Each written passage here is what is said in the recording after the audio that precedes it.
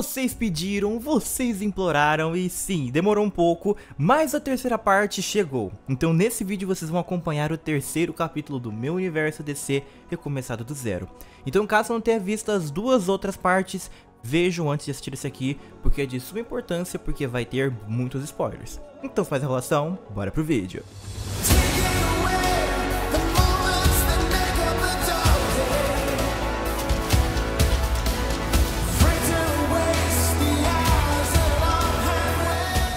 começar com o nosso ocultista favorito da editora da DC. Hellblazer nos mostrará um dos assuntos mais críticos de John Constantine, confrontando seu passado e literalmente seus demônios mais internos. O vilão será Nergal, muito conhecido pela conexão com John e o caso de Newcastle. A proposta seria ser o primeiro filme mais 18 do meu universo, com muitos elementos de terror inaugurando o selo Vertigo nos cinemas, como realmente foi V de Vingança no passado. Por ser um selo à parte, não seria realmente necessário você assistir todos os filmes da DC para poder entender essa história. Até porque eu considero isso como um entretenimento à parte apenas para os adultos nerds com mais profundidade, exploração em temas maduros e dramas pessoais dos personagens. O longa iniciaria mostrando a trajetória de Constantine, até o momento que a história se passa, desde o protagonista e Chess criando a sua banda punk, o traumático caso de Newcastle sendo mostrado, a aventura de John Constantine com o perpétuo Morpheus, o Sandman, e o seu término de namoro com a Zatanna, até o momento atual, onde a trama readaptaria a animação Cidade dos Demônios de 2018, em que o ocultista deveria salvar a filha de Chess e libertar Los Angeles da influência do demônio Nergal. A maior diferença seria termos Jason Blood como um parceiro misterioso de John que o vem acompanhando há alguns meses já. A origem de Jason seria obviamente conectada a Merlin e ao rei Arthur Pendragão, que seria mencionado através de diálogos. No confronto final do longa, Nergal invocaria vários demônios menores e veríamos a transformação de Jason em Etrigan, onde ele massacraria esses demônios menores enquanto John venceria o antagonista. O pós-crédito seria de Constantine sendo visitado por Deadman, dizendo que o Verdão estava em perigo e que eles deveriam ir para a Casa de Mistérios agora mesmo. Voltando agora para o núcleo da princesa amazona Diana de Temícera, vamos para Mulher Maravilha, Deuses Imortais, o último longa dessa personagem.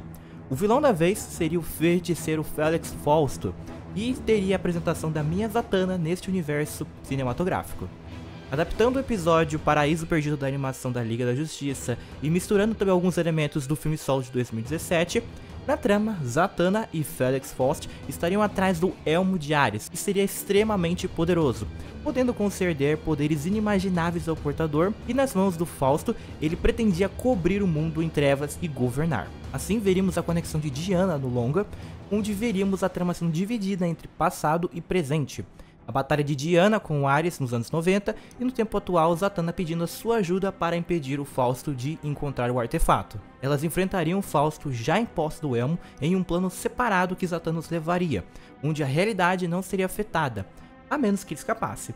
Realmente seria bem parecido com a dimensão esperada da Marvel Studios. Em um trabalho em equipe, elas vencem o feiticeiro e com a permissão de Diana, a Zatanna leva o elmo para a Casa dos Mistérios, onde ela atualmente moraria nas horas vagas. O pós-crédito seria Zatanna chegando à Casa dos Mistérios e reencontrando Constantine e Deadman, dizendo que o monstro do pântano estava em perigo.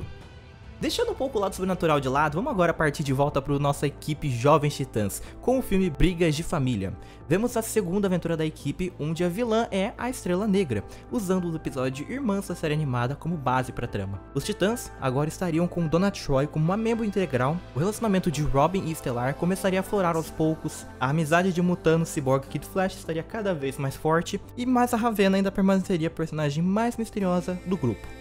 No início do longa teríamos os titãs vencendo a equipe da Academia Hive, Gizmo, Mamute, Jinx, Billy Numeroso e Kid Wicked, e uma antiga conhecida dos titãs, a Abelha. Depois de um encontro de Robin e Estelar, a Estrela Negra chega à Torre dos Titãs, e vemos a relação conturbada entre as irmãs durante o longa, com ela ajudando alguns combates, entre eles os irmãos Trovão e Relâmpago e o Dr. Luz, novamente. Até um ponto que Estelar descobre que a sua irmã era uma procurada e arma contra ela para ser presa no seu lugar. Os titãs conseguem salvar Estelar e depois de um combate no nível Dragon Ball entre as irmãs, Estrela Negra é presa. A cena final é Kid Flash saindo da equipe por pedido de Flash para uma última missão. E o pós-crédito seria o beneficiário da academia dizendo ter tudo o que precisava para pôr o seu plano em prática, e o nome Slade Wilson é mencionado. Mas antes de continuar, tá gostando do vídeo? Então deixa um like e se inscreva para você me motivar a trazer mais conteúdo do tipo. E a meta para a parte 3 agora vai ser um pouco diferente. Eu vou colocar para vocês 30 likes. Eu sei que vocês conseguem, então já vai clicando em compartilhar com seus amigos e deixando o like.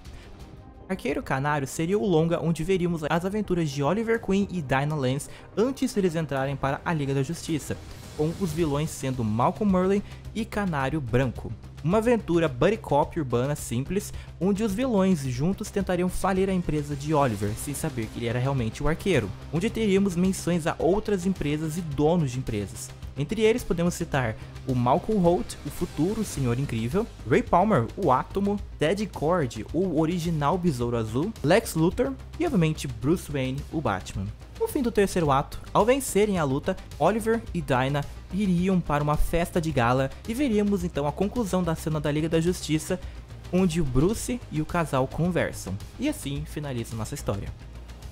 Chegou a hora de adaptar o arco que o diretor Christopher Nolan tentou, mas, na minha opinião, ficou bem meia boca. E essa, no caso, é minha quarta aventura do Cavaleiro das Trevas, em Batman, A Queda do Morcego. Batman estaria investigando uma organização no submundo de Gotham, e ele seria atacado por Bane, um mercenário com super força. E no fim do combate, ele quebraria a coluna do herói. Dessa forma, Bruce ativaria o protocolo Anjo da Morte e descobriríamos que ele treinou em segredo por anos e anos um substituto chamado Azrael e que ele deveria assumir o manto até ou se o Batman se recuperasse. Enquanto Azrael cuida da cidade com seus métodos mais violentos, ele derrota Bane e o deixa em coma em uma ala hospitalar da prisão de Blackgate. Lucius Fox cria um exoesqueleto para ajudar o Bruce como um tratamento, e após seis meses ele volta a andar. Vendo que a cidade corrompeu Azrael, Batman é obrigado a voltar ativa e parar o seu pupilo. Com um traje avançado, ele o vence e recupera o título de Cavaleiro de Gotham. Azrael implora por perdão e diz que um dia vai se redimir do seu antigo mestre por desonrar o manto. Batman agora precisa recuperar a confiança de Gotham, que tinha pelo herói, e Azrael manchou-a. No fim, Bane acorda do coma dizendo querer vingança do Homem-Morcego. O pós-crédito é Bane sendo visitado pelo representante da tal organização que havia contratado ele, e descobrimos que na verdade esse tempo todo era a Corte das Corujas. Temos agora a formação da super equipe sobrenatural do meu universo DC, e a ideia seria fazermos uma trilogia. E tudo isso aí começa com Liga da Justiça Sombria, onde vemos a apresentação do Monstro do Pântano, Deadman, a Casa dos Mistérios e a volta de Constantine, Zatanna, Etrigan e Mulher Maravilha. A trama em geral seria extremamente parecida com a animação Batman e Arlequina, onde o vilão do longa seria Jason Woodrow, o Homem Florônico, que ameaça matar o monstro do pântano e dominar a força elementar que une todas as formas de vida vegetais do planeta o verde. Teremos a origem do monstro do pântano e seria explicado pra gente o conceito do verde e o que a força proporciona ao guardião, que nesse caso era o Alec Holland ainda. Além do longa começar com a origem do Deadman nos primeiros minutos. No terceiro ato, a Liga da Justiça Sombria é formada e o Homem Florônico é derrotado, tendo a sua conexão com o verde completamente cortada. Além de termos uma menção ao vermelho, a força natureza que liga os poderes do Mutano. O pós-crédito é Diana atendendo uma chamada de John Jones informando que uma ameaça sem precedentes se aproximava da Terra e que a Mulher Gavião havia desaparecido. Partindo agora para o espaço, vamos para nossa apresentação da Jessica Cruz com uma nova Lanterna Verde no filme Guerra dos Anéis. O início do longa seria Sinestro, recrutando Lar Freeze, Safira Estelar e Atrocitus em sua causa para destruir Hal Jordan. Teremos a apresentação de Jessica Cruz, sendo treinada por Hal e Kilowog, enquanto várias tropas de lanternas são atacadas. Roxos, azuis e os verdes pelos antagonistas. E devido a isso, Jon Stewart é convocado pelos Guardiões da Terra. Jordan, Stewart, Jessica e Gardner partem em uma busca de ajudar as outras tropas. Eles recrutam Irock e Santo Andarilho para vingar as suas tropas. No terceiro ato, todos os lanternas verde, azuis e roxos sobreviventes se juntam à batalha final, onde as sete tropas se enfrentam. Al se vê obrigado a usar o anel amarelo para vencer Sinestro, e no fim ele acredita ter se livrado da influência do medo. Al então consegue se reconciliar com Carol Ferris, a Safira Estelar, e ela assim volta à Terra ao perdoar o Hal. No fim, Jessica termina seu treinamento e faz parceria com Simon Bass. E o pós-crédito é Hal e Guy Garner relatando uma investigação aos guardiões que estavam e sugerem que John deveria continuar sendo o protetor do setor 2814 até finalizarem o caso.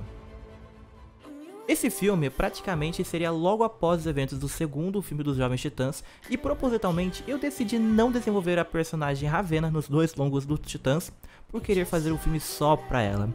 E é isso que Contos de Azarath tem como objetivo, onde teríamos a sua origem, conexão com a magia negra e explicação de sua figura paterna.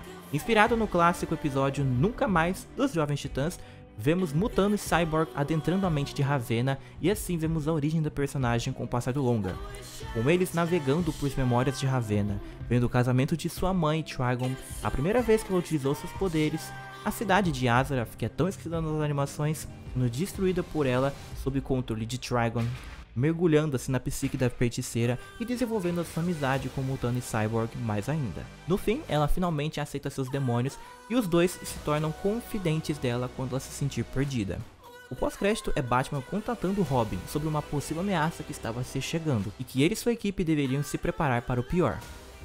E para finalizar esse terceiro capítulo, é claro que chegamos agora em Liga da Justiça Invasão Tanagariana. O longa, obviamente, é inspirado na série animada da Liga, onde temos a invasão da raça Lada e a traição da Mulher Gavião. Além desse ser o longa que a princesa Tanagariana seria desenvolvida, tendo a sua origem e motivações trazidas ao holofote, mas também temos a quebra de confiança de Jon Stewart com Shayera, que acreditava estar começando um relacionamento com ela, mas descobre que ela ser casada com o general Tanagariano Gavião Negro. Um grande diferencial que teria nessa história seria um mega crossover dessa história, onde teríamos a Liga da Justiça, a Liga da Justiça Sombria e os Jovens Titãs trabalhando juntos. Obviamente, na primeira batalha, a Liga sozinha perderia na invasão. Já na segunda batalha no final, com a ajuda da Liga Sombria e dos Jovens Titãs, eles seriam capazes de vencer os invasores. John e Gavião Negro lutariam pela honra e pela mão de Shayera, e quando John quase estivesse perdendo, Shayera salvaria a vida dele e derrotaria Carter Hall. No fim, Shayera é convencida por John a trair a sua própria raça, assim contribuindo na vitória da Liga. Mas, logo em seguida, ela é banida da Liga por perder a confiança dos outros membros. E John aposentaria o Anel de Lanterna para começar uma vida com Shayera por tê-la perdoado assim que ela pediu uma segunda chance. O primeiro pós-crédito seria Lex Luthor recrutando um grupo de supervilões e assim criando a sua Liga do Mal. O segundo pós-crédito é Batman e Diana sendo notificados de atividades suspeitas no fundo do mar, e Diana diria que os rumores realmente eram verdadeiros.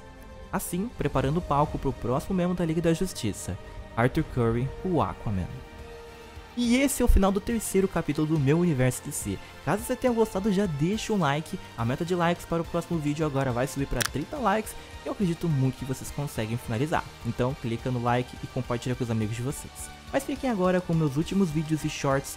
E eu vejo vocês no próximo vídeo. Fique com Deus e tchau, tchau.